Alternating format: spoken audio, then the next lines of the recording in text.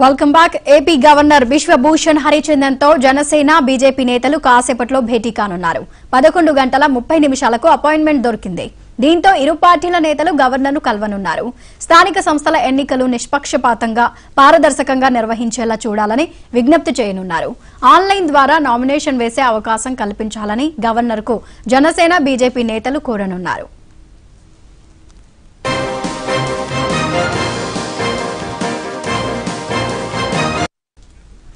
Janasena BJP నేతలు గవర్నర్ని కలవనున్నారు. మరి కాసేపట్లో ఈ అపాయింట్మెంట్కి సంబంధించి పూర్తి సమాచారం ఏపీ బ్యూరో చీఫ్ మురళి అందిస్తారు. మురళి చెప్పండి మరి కాసేపట్లో గవర్నర్ని కలవనున్నట్లుగా తెలుస్తోంది.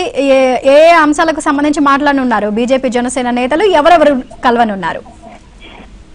కవిత మరి కాసేపట్లోనే ఆంధ్రప్రదేశ్ గవర్నర్ బిశ్వభూషణ్ హరిచందన్ భారతీయ జనతా పార్టీ అదేవిధంగా కూడా జనసేన నాయకులు సంయుక్తంగా కలవన్నారు ఈరోజు పదకొండు గంటల ముప్పై నిమిషాలకు బీజేపీ జనసేన నాయకులకు గవర్నర్ బంగ్లా నుంచి కలిసేందుకు అనుమతి రావడంతో ఐదుగురు సభ్యులతో కూడినటువంటి బృందం గవర్నర్ కలవనున్నారు. భారతీయ జనతా పార్టీ రాష్ట్ర అధ్యక్షుడు సోమవీర్రాజు అదేవిధంగా కూడా Janasena political affair committee chairman Nadendla మనోహర్తో పాటుగా జనసేన పార్టీ నుంచి కందులు దుర్గేష్ అదేవిధంగా కూడా శ్రీనివాస్ యాదవ్తో పాటుగా భారతీయ జనతా పార్టీ నుంచి మధుకర్జీ కూడా ఈ యొక్క బృందంలో ఉన్నారు. ఐదుగురు కలిసి గవర్నర్ కలవనున్నారు ప్రధానంగా కూడా స్థానిక సంస్థల ఎన్నికలు పారదర్శకంగా జరిగే విధంగా చూడాలని ఎక్కడా కూడా శాంతి భద్రతకు విఘాతం కలగకుండా ప్రయత్నాలు చేయాలని చెప్పేసి అంశాలను ప్రధానంగా కూడా గవర్నర్ దృష్టికి తీసుకెళ్తున్నారు గతంలో జరిగినటువంటి చేదు అనుభవాలు దృష్టిలో పెట్టుకుని గతంలో ఎవరైతే పోటీ చేయాలని భావించినటువంటి అభ్యర్థులు ఉన్నారో ఆ అభ్యర్థులను బెదిరించు బెదిరింపులకు పాల్పడి వారు నామినేషన్ వేయకుండా అడ్డుకున్న ఘటనలు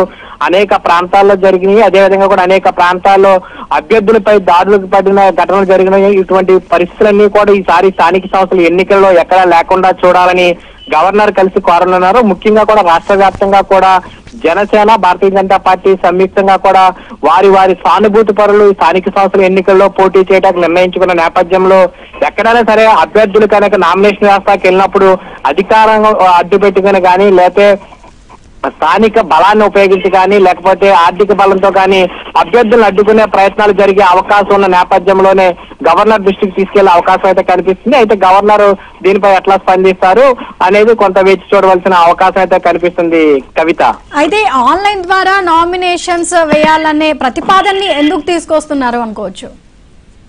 అంటే గతంలో ఏదైతే జడ్పీటీసీ ఎంపీటీసీ ఎన్నికల నేపథ్యంలో మార్చిలో ఇచ్చినటువంటి అప్పటి నోటిఫికేషన్ నేపథ్యంలో జరిగినటువంటి ఘటనలు అభ్యర్థులు నేరుగా కూడా ఈసీ కార్యాలయానికి వచ్చి ఆ నామినేషన్ వేసేందుకు ప్రయత్నిస్తుంటే మార్గ మధ్యంలోనే కొంతమంది అడ్డుకుని వారిని బెదిరించి వారిని వెనక్కి పంపిన నేపథ్యంలో అధికార పార్టీ నాయకులు కానీ లేకపోతే కొంతమంది స్థానికంగా పలుకుబడి ఉన్నటువంటి పెద్దల వ్యక్తులు కానీ బెదిరింపులకు పాల్పడుతున్న నేపథ్యంలో నిజంగా కూడా ప్రత్యక్ష పోటీలో పోటీ చేయాలని ఆలోచన ఉన్నప్పటికీ కూడా నామినేషన్ వేస్తే కనుక మళ్ళా ఏం జరుగుతుందనే భయంతో చాలా మంది అభ్యర్థులు వెనక్కి వెళ్ళిపోయిన నేపథ్యంలో వెనక్కి తగ్గిన నేపథ్యంలో ప్రస్తుతం ప్రధానంగా కూడా ఆన్లైన్లో నామినేషన్ ప్రక్రియకి తెరలేపాలనేది ప్రధానమైన అంశంగా భారతీయ జనతా పార్టీ జనసేన పార్టీ తీసుకొస్తుంది.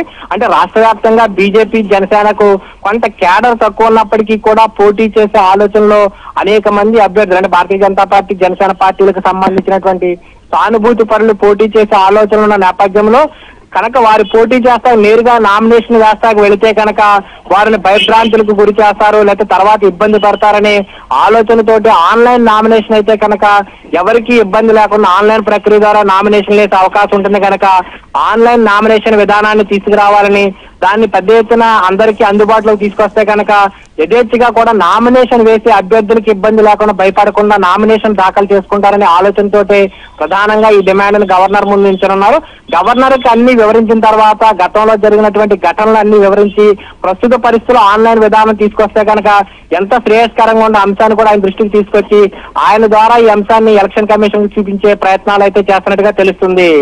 రైట్. Thank you Murali